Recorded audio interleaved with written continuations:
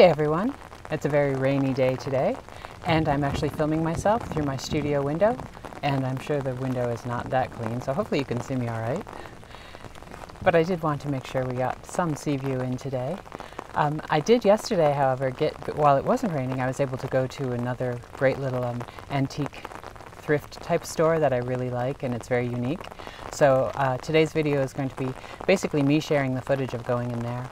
I did get a couple little inexpensive treasures for uh, maybe in future project, we'll see. Um, but I hope you enjoyed today's video. Uh, and if it's raining where you are, snuggle up with a nice cup of tea and have a fun, enjoyable browse through Cape Cod Antique Shop. Today we're heading out to a roadside Cape Cod cottage antique shop that I really, really love. It's very New England coast. you see the old cedar shakes and all the old buoys and lobster traps and things. And now this is in still in Cape Cod, but it's on the other side of the bridge. so It's just off the Cape and it's in a town on the bo- that borders Onset and Buzzards Bay. And the reason I was here today was I was going to my other antique shop in Buzzards Bay to buy that amazing antique vintage wallpaper folding screen I showed you in my last vlog, and unfortunately they were closed, even though they're supposed to be open. But that's just the way it is cur- currently. But I forgot this place, and it's been yonk since I've been here, so I thought I need to stop and share it with all of you. I'm going to try to go as slowly as I can. I still haven't got my gimbal set up yet. But this way you can kind of have a little peruse around and see all the old nautical things, buoys. It's really just a random assortment of things. Now, although it looks somewhat like a junkish place or even a bit of a brocante or thrift shop, the owner is actually an antiques dealer, so some of his things are, are quite pricey. So it's a mix of like, you know, I can find things for three to five dollars, but then he's a collector of Adirondack pack baskets, which are beautiful, but those can be, you know, three to five hundred dollars. Oh, I love this old green gate outside. He has a lot of outdoor garden things, and I would love this gate to design a rose garden around. It wasn't too dear; it was around three hundred, which is actually quite cheap for that type of old metal, uh, out of my budget currently. But I just had to share it with you. And then as you enter the front of the building, this is what you see from the roadside. There's all sorts of oars and buoys and little statuettes, and it's you know the rusted old door. It's very New England Cape Cod. As we walk through here, you can see there's a, an outdoor pergola area where, more so in the summer, you'll have more things set up here, uh, more outdoor garden things. And, and, I love like stone gardenware or um, Victorian metal urns, that type of thing. Oh, I thought this was adorable. The uh, stays from a gate with paintings on it, which I might steal that idea for something to do for our Christmas this year, our nautical Christmas.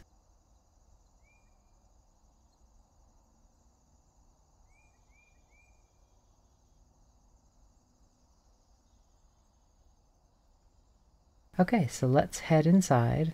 Again, trying to slowly give you a sweep of all the things that just sit outdoors. And in through the rusty door and inside.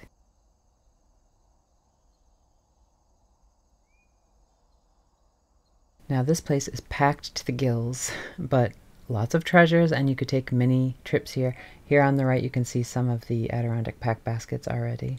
He has quite a few in here. And I like how he has the uh, screening on the wall to hang old fishing lures and stuffed fish, wooden um, plaques and decoys. A lot of things really up my alley here.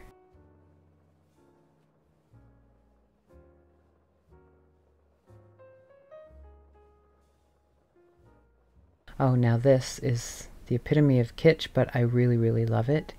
This seashell lamp with the seashell lampshade was really, I thought it was amazing. I think it would look wonderful on like a round table, either in a foyer or in, say, a library with uh, books surrounding it. It was quite dear, though. And the old brass, or the old copper dive helmet was really interesting. So you can see it's small, but really packed full of treasure. And those are just hand painted uh, old glass uh, sea weights. Now I love this green cabinet with the pierced metal front. Would that not be a perfect piece in, the, in a kitchen? I wouldn't touch it. I would just clean it up a bit. And wouldn't that be wonderful in the boathouse kitchen? So I'm going to come back and think about that one. I actually forgot to take a photo of the price, so I'll have to come back. This alligator bag I think it's actually a doctor's bag was so beautiful. I almost got that for myself for my birthday gift, but it was I think it was $125 and I really shouldn't spend money on something I don't currently need, but isn't it beautiful? When you're not using it, you can have it sit around and be lovely in your home. This is a fun little section because you can kind of dig through all the little pieces to find ship's bells or old doorknobs, things we could use to make fun cabinet handles. Lots of old glass lamps. I love the green jug with the old fisherman on, and this cup I really liked. It's just a simple little gentleman's uh, teacup, but because it had, it wasn't anything particularly fancy or, or amazing, had a little chip. But because it's I, anything equestrian, I just go for, and I really love hunt scenes, so that's a possibility.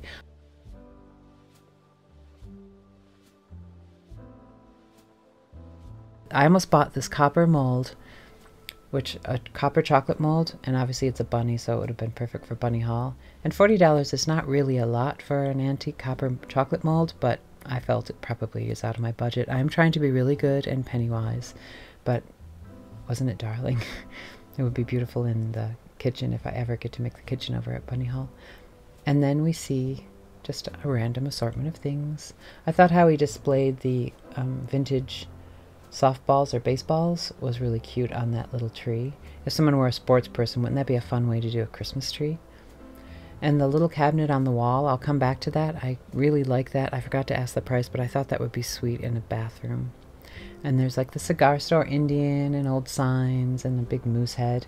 He does a lot of um, shopping in upper parts of Maine and in the Adirondacks, which is a little bit different vibe than the Cape. So it's often fun to come here because he does nautical things as well, but then there'll be more mountainous things like snowshoes and the uh, Adirondack pack baskets, that type of thing. So it's a nice change and it's a way to add more variety to your things in your home. So I, I really do appreciate coming here.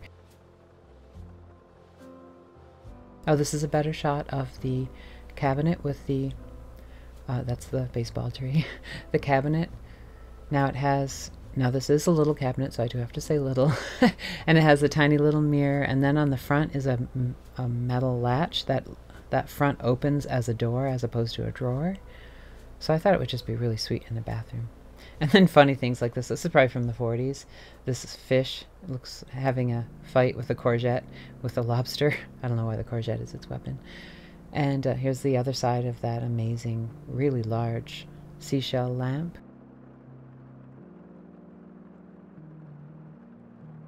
Oh, so a little history of the baskets. The Adirondack pack baskets are basically, I think they they're originally Native American, and they go, I think they found examples as far as like 900 BC from the Native Americans in this country. But the um, old trappers and things used them to, and, and right up in through the 19th century, used them to uh, carry fishing and hunting supplies because obviously this was pre-backpacks. But there are some amazing examples of different type of black willow that are woven, and, and sometimes the straps are made out of something special. This was a particularly pretty. I like the shape and the color of this one. But this gentleman, he specializes in these baskets, so you will never find a good deal on them here because he knows what he has. I think probably the least expensive one you could probably hope to buy would be maybe $80. Maybe 60 if it had damage, but I mean they go up into the thousands. But still, I can appreciate them for free. And as we sweep around, I'm just trying to get a nice slow view. Oh, and let's look at our cabinet again that I think would be amazing in the boathouse kitchen. And that pierced tin front is, I just love that. But again, I'm hoping by having slow sweeps, I know the camera's a little shaky, that you can watch it back again and just, if you're stuck at home, have a fun little peruse around a Cape Cod style antique shop. He also has old uh, vintage fishing paraphernalia, what I, which I also love.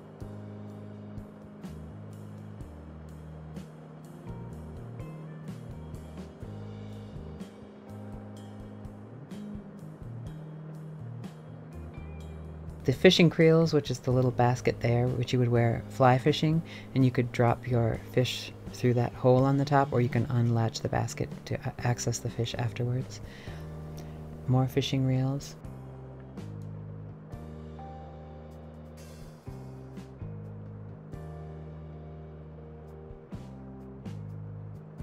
Oh, here are more um, of the Adirondack pack baskets. They're really beautiful. I love the green one. It had a sort of a leathery cloth, oilcloth over it.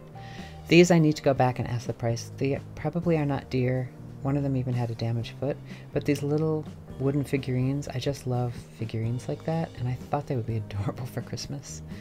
And here's some more uh, stuffed fish, an interesting old wooden fishing creel, uh, creel and um, oh, down here I had I love this little. I didn't get a very good shot of it, but there's a Victorian ochre painted washstand that was only $45 that I really think would be an amazing washstand that you could turn into a bathroom sink. So I put that in the back of my mind for the boathouse bathroom. Now back outside, I loved these little copper garden ornaments and mainly because they feature wasps and praying mantis, two garden helpers that we often don't get to see depicted in garden ornaments, so I thought those were really sweet. And more glass fishing buoys and our fishing weights, floats, I mean. And then I want to take a quick little look. He usually has more things out outdoors, more outdoor Victorian metal statuary and um, outdoor seating, which I love, but it's less this time of year. I love the urns. On the distance there, you could see the Cape Cod Railroad Bridge, which lowers down every day to let the trains off and on the Cape. This metal set actually is probably just from the 50s, so I should ask about the price because I don't think this would be too dear. And it's quite easy to paint this metal. So we could even make it, make it a fun color.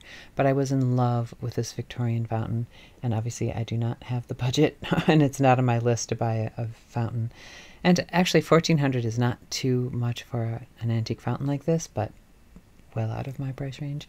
And this may actually be a reproduction Victorian metal bench. I really liked it, and this type of thing would actually be nice down here because Obviously, it does get weathered from the sea, but it's nice to have metal as opposed to wood because the wood does rot quite quickly here when we're on the seafront.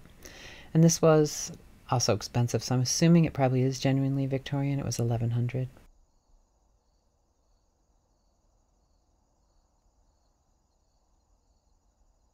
So here's a, another look at the uh, outside of this very New England seaside place. And the two treasures I did buy today was this amazing jug with a hearty fisherman on.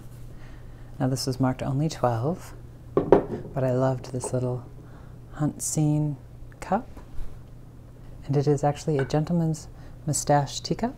You can see this is here because as a gentleman would drink his tea, in a Victorian invention, his mustache would lay here and he wouldn't get droplets of tea on his mustache. But I love hunt scenes. Anything with equestrian on I'm mad for. So I think uh, I want to do something with this for Christmas at uh, Old Kings, even if it's just a simple decoration or just on the mantelpiece with some, maybe some twigs and some Christmas bulbs in. But I want to do another Floral Friday, although it won't technically be on Friday, using this jug. I just love this green. And uh, probably use it at King's for now, but I think its final destination will be the boathouse because I really like that green. So, all right.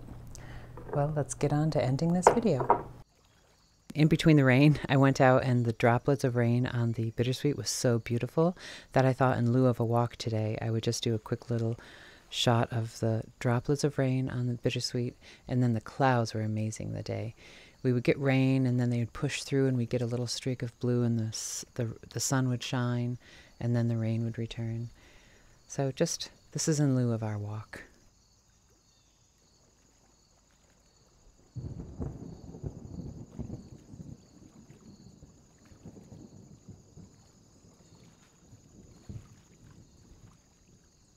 And then again to the beautiful droplets of the still bursting open bittersweet, from golden yellow to beautiful burnt oranges.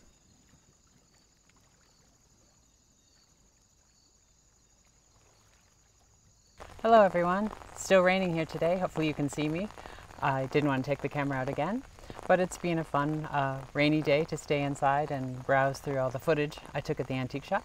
So hopefully you enjoyed today's video, and I will see you on the premiere on Sunday, which will be at 1 o'clock um, my Eastern Standard Time, which I believe is 5 o'clock UK time. I'm not sure, I guess the clocks have changed now, so maybe it's later or earlier. You'll have to sort that out. but it'll be 1 o'clock Eastern Standard Time here. It may be a short one because I do have a busy weekend, but we shall see. All right, uh, thank you for hanging out with me today, and I will see you on Sunday and in the chats at Lalonde, at Dan's, everyone's. All right. Cheers, and remember, stay creative.